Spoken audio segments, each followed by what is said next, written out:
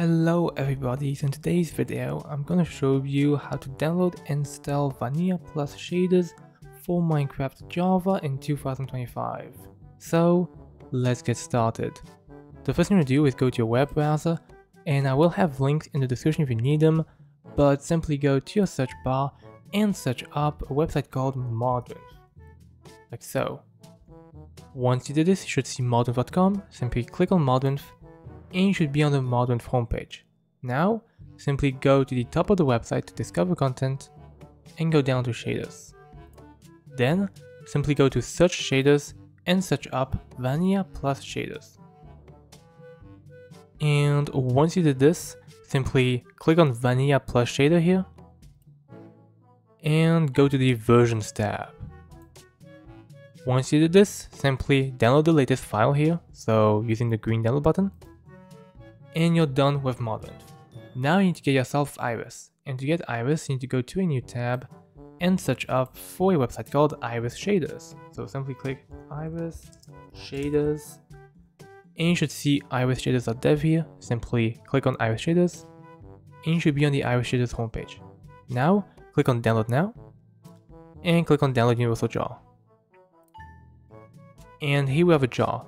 So that means if you don't have Java for Windows, you will not be able to use this Iris install here. So what you need to do here is simply go to a new tab and search up for a website called JDK23, which I will have linked in the description as well.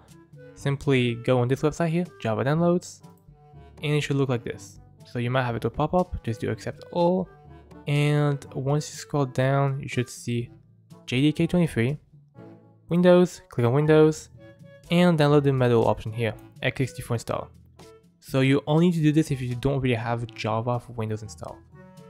Anyways, once you have sorted out this, what you want to do here is simply go to your downloads folder. You can do this by going to your file explorer and going to your downloads folder. Here, all you want to do is simply find your Iris installer in your Vanilla Plus shader that you just have downloaded. Simply double click the Iris installer and choose the game version. So here we have a lot of game versions that we can choose, but I'm just going to select the latest one. And here we have Iris only or Iris plus fabric.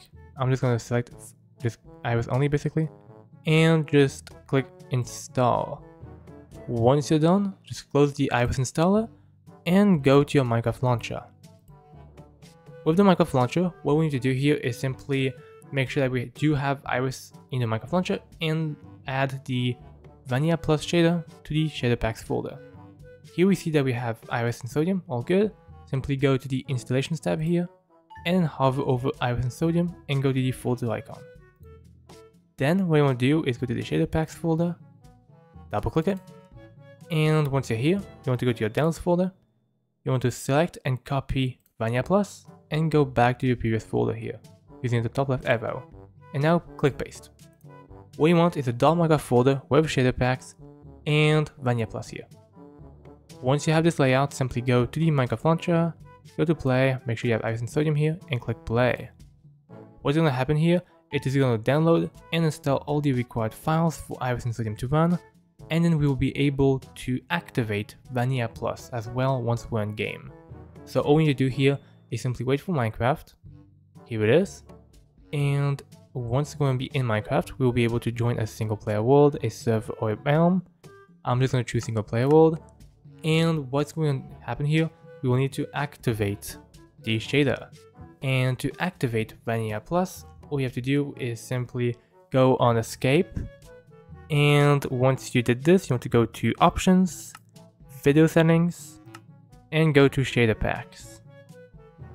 Once you did this, simply click Vanilla Plus and apply. It will just darken here and that means you selected. And there you go. We now have Vanilla Plus shaders currently active. It is a very simple shader pack, but it adds custom clouds and it makes the water look a bit different. You can see it through it a bit better.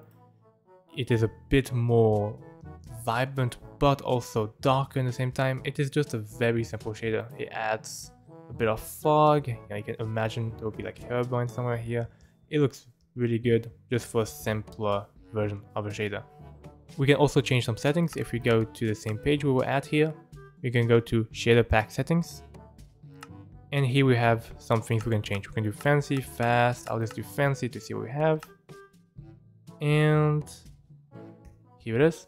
Fancy has a bit more fog. The water looks absolutely gorgeous. Now they just it makes it really nice. There's a fog here. This shit is really really good. It's really simple, but it also really adds to the game as well. It makes it look like a different thing. So that's pretty cool. So either way, that's how we get Vanilla Plus shaders working on Minecraft Java in 2025. So if you liked this video, make sure to like and subscribe and see you for the next one. Bye!